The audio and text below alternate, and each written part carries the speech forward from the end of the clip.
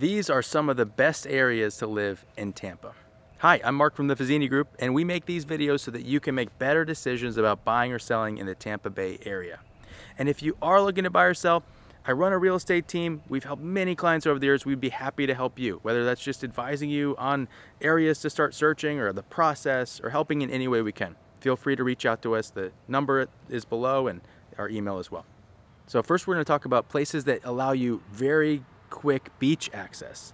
Being close to the beach is, is oftentimes one of the number one things that our clients say they're looking for in the area. And if you want to find a home in an area with great beach access, I, I really think you need to target your search in the Pinellas County area. So some people are from places where, you know, they would drive two hours to get to a beach. So proximity to the beach and access is all relative. But in my mind, I kind of think of it like if you can get there in less than 10 to 20 minutes and you could, you know, go after work and watch the sunset, that's, that's pretty good beach access. So here on the map, you have areas in the north section of Pinellas County like Tarpon Springs. As you, you go down through Palm Harbor, Dunedin, then you get to the Clearwater area, of course, and then you can go as south down to like, you know, Largo, Seminole, St. Petersburg. You're gonna have really good access if you kind of stay near the coastline within the 10 or, you know, 15 minute drive there. Next, we're gonna talk about the areas with the most new construction communities. If you're looking for a, a, newer home, you're probably gonna have to look closer to the Tampa Bay area, the, the north, northwest areas, places like Land O' Lakes, Wesley Chapel. Lots of new construction options off of 54. Basically, anywhere in that Trinity and Northeast area, you'll start to find a lot of different options. Some of the most popular ones, Starkey Ranch, you know, you have Epperson uh, with, with the amazing lagoon. There's a lot of options up in that North, North Tampa area.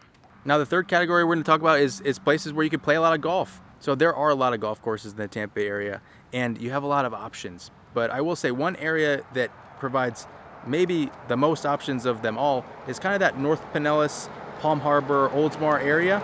If you do live in that area, you have probably 20 golf courses within a 20 minute drive. And you have great private clubs some of the best in the county and you have great public clubs as well. And you have lots of options. So in any given weekend or weekday you could choose from a good 10 to 20 courses that you probably would love playing and you have that variety to keep going back and forth from so next category is access to the downtown area. So obviously, you know, there's no better place than like South Tampa or West Shore to get to downtown, but the houses there are generally very expensive. So there are some other areas like Brandon that are very affordable and have quick and easy access to downtown Tampa.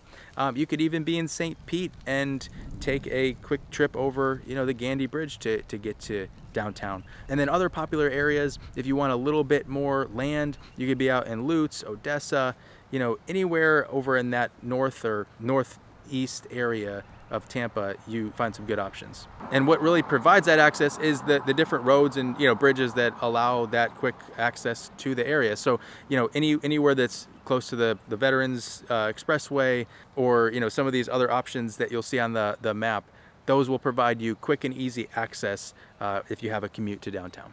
Now the last category is good family friendly areas. So I love North Pinellas. If you have a family, there's so many different neighborhoods to choose from. It's typically known as a little bit slower than you know the areas close to downtown. Um, you have lots of different neighborhoods, gated communities, all, all of those things. Great for families. There's also a lot of options in the North Tampa area. So you'll have different, you know, golf course communities or uh, gated communities, and then even areas that have some land where you're going to have more of that community feel, and they'll be very good for the family. The the rule of thumb is, you know, the further away you get from the, the city, you'll typically get into more of those suburb options and you'll, you'll have that more family friendly feel.